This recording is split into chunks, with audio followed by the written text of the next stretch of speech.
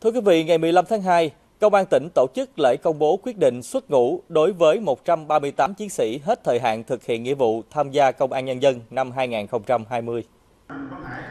Đây là các chiến sĩ đã thực hiện nghĩa vụ tham gia Công an Nhân dân từ năm 2017,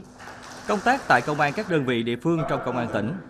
Trong thời gian 3 năm học tập và rèn luyện, các đồng chí đã được giáo dục huấn luyện đầy đủ các nội dung về chính trị, nghiệp vụ pháp luật, thực hiện nhiều nhiệm vụ quan trọng bảo đảm an ninh trật tự, chữa cháy, cứu nạn cứu hộ trên địa bàn tỉnh.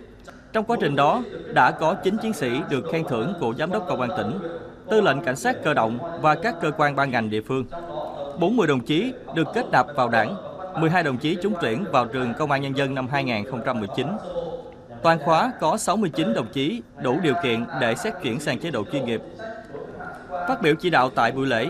Đại tá Huỳnh Văn Hải, Phó Bí thư Đảng ủy, Phó Giám đốc Công an tỉnh nhiệt liệt biểu dương những thành tích mà các chiến sĩ đã đạt được trong 3 năm công tác. Đồng thời mong muốn các đồng chí khi trở về địa phương cần tiếp tục phát huy những phẩm chất tốt đẹp của những người đã từng có thời gian học tập, rèn luyện trong môi trường công an, chấp hành tốt chủ trương đường lối của Đảng, chính sách pháp luật của nhà nước, tích cực tham gia vào các phong trào, trong đó có phong trào toàn dân bảo vệ an ninh Tổ quốc tại địa phương. Đồng chí Phó Giám đốc cũng yêu cầu công an các đơn vị địa phương cần chủ động phối hợp với các cấp chính quyền, tạo điều kiện giúp đỡ, hỗ trợ các chiến sĩ xuất ngũ, giúp các đồng chí sớm ổn định cuộc sống.